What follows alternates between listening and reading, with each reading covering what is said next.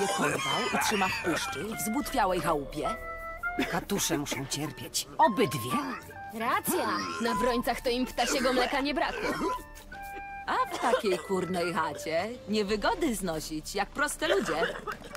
Z gnoju wyszły i w gnoju szczezną. Ten baron to szlachcic jak i mój stary.